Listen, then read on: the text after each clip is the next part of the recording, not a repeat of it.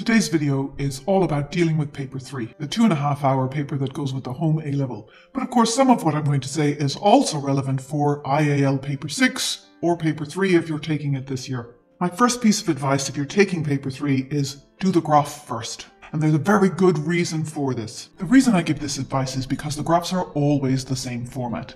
So for example, this is the graph that came up in November 2021. They're always going to be a log graph, and the questions follow the same sort of trend. First of all, you have to log this graph so that you get it into the format of y equals mx plus c. If we have log L is equal to log K plus n log T.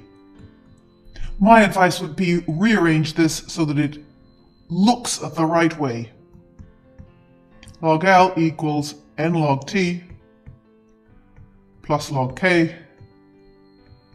And then all you're doing is underneath you're writing y is equal to mx plus c. And you are demonstrating by doing that that you know why a graph would give a straight line. It gives a straight line because n is a constant, as they tell you here, and n is the gradient of that graph. The mark schemes say either directly or indirectly relate the logged version of this equation to y equals mx plus c, but I don't see why you would do it indirectly when you can just write it underneath and connect them. So make sure it's very clear so that you are certain you're going to get those two marks. The next part of it usually involves filling in a table like this. When you do the units for logs, be very, very careful. The general rule is you log and then put whatever is shown in these first columns into a pair of brackets. So our first one would be log bracket L in L suns, and our second one would be log bracket T in Kelvin close bracket. That's the only correct way of doing it, so make sure that's what you do. And then you use your calculator, find this data, and you plot a graph of log L against log T. You can see that there are five marks for this part. The first mark will be for your, you getting those numbers correct. Usually we keep log numbers to 3SF regardless of how many SF there are in the raw data because if you don't keep it to 3SF, then you run the risk of the numbers being very similar. The final four marks in this part are for the graph, and these are always the same marks, the axes labelled with the quantity and unit, exactly the same way as you have on the top of the table. Sensible scales.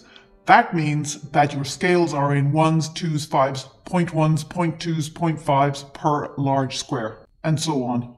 Not only does your scale has to be, have to be sensible, but it has to fill at least half the graph page in both directions. So make sure, and that's for your points. So you can't just draw whatever length of line you like and say you've filled half the graph page. The points have to fill half the graph page in each direction. You can do your graphs either landscape or portrait. So choose whichever orientation suits your scale best. The third mark is for plotting the points correctly, so make sure you get that right. And the fourth mark is for the best fit line. Again, balance the points on either side of your line. Don't join the top to the bottom or other foolish things that people do. Make sure you have a 30 centimeter clear ruler so that you can balance those points. These are five marks that it doesn't take an awful lot of brain power to collect, but it does take a little attention to detail. Doing this at the start of the exam settles you down. You know you've got these marks because you've paid attention to what you're doing, and so you feel like you've had some success at the very beginning. These questions usually go on to get you to find a value for the gradient so that you can relate that back to the equation. Let's have a look back at the equation. It says determine a value for n. We know n is going to be the gradient here. They could equally ask you to determine a value for k, at which point you find the intercept on the graph and then anti-log that to get a value for k. Or I've seen questions where they ask you to then write the mathematical relationship. In other words, you're replacing k and n in this equation with the actual numbers. If you look back through the past papers, you will see it is always a log relationship and they're all tackled the same way. My second piece of advice is make sure that you know how to calculate uncertainties. There are rules that go along with it. It depends on whether it's a single measurement or whether it's repeat measurements, and I'm going to show you exactly what you should do right now. Are two methods for calculating uncertainties. If it's a single measurement, it is half the resolution of the instrument. So you need to identify what the resolution of the instrument is, and then take half of that. If it's repeat measurements, you find the range of the repeats, excluding anomalies, and do half the range of the repeats. That is your absolute uncertainty. You then put that over either the measurement that you take for a single measurement or the average for repeats times 100 to give you percentage uncertainty. One of the favorite things that have been coming up recently is something like this, where you need to take two measurements in order to find the value of h here. If you have to take two measurements, and they're two single measurements, we can see from the measurements that the smallest scale division, the resolution is 0.01 centimeters. So our uncertainty for that reading would be 0.005. The trouble is, you also have an uncertainty of 0.005 centimeters for the second reading that you have to take. And those two uncertainties get added together to give you the uncertainty in H. Now this is an example of using that subtraction method where you have to subtract two readings to get your actual measurement. It's also a good example of they're using a measurement to get you to infer what the resolution of the instrument is. So key points, single measurement, half the resolution, repeat measurements, half the range over the average. With this goes the idea of compounding uncertainties. And that means if you have to multiply two quantities together to get a calculated quantity, and each of those multiplied quantities has an uncertainty. In this case, you must calculate the percentage uncertainty for each quantity. You then add the percentage uncertainties together, regardless of whether you're multiplying or dividing those quantities. So any equation that is made up of three, four, five quantities, the percentage uncertainty in each of those quantities is added together. My third piece of advice is to know your definitions. The definitions are given to you in one of the glossaries at the back of the specification. But here they are for easy reference. Feel free to pause the video and jot them down if you want, or you can just go into the specification and find them. They have in the past asked for actual repeats of this. So it, if it gives you comfort, you can learn what some of the most common things are. So true value has been asked, the value that would have been obtained in an ideal measurement.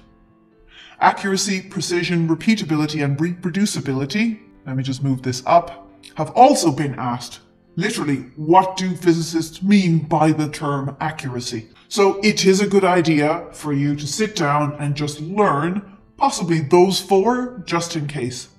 The other reason why you would pick apart these little paragraphs here is because they often ask this indirectly. So how would you improve the repeatability of something in order to say how you would improve it? You have to know what that actually means. So my advice is to go in, read through them, make sure that you can understand what these paragraphs are telling you about the definitions of these terms. And the most common ones, you should be able to produce their definitions exactly. A question like this is a very good example of why you need to know those definitions and then apply them. Because they are very well aware that in the old days with the old papers, precision and resolution were interchangeable. Not anymore you need to know the difference between resolution and precision and accuracy. These are not the same things. So a higher resolution instrument does not guarantee either an increase in accuracy or an increase in precision. Another very common question is critiquing somebody else's results or method. And the first of this kind is to critique the recording of the data, their table. And there are some usual things you can say about this. The first thing you check is whether their raw data is to the same number of decimal places and their processed data is to the same number of significant figures as the raw data it came from.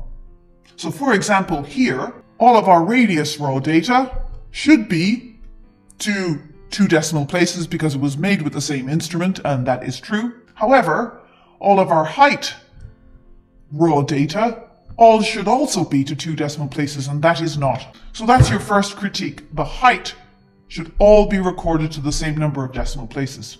Another thing we could say is that they have no unit for their 1 over r. That should be recorded with a unit. And this 11.1, that should be to one significant figure because the raw piece of data it came from is 1SF.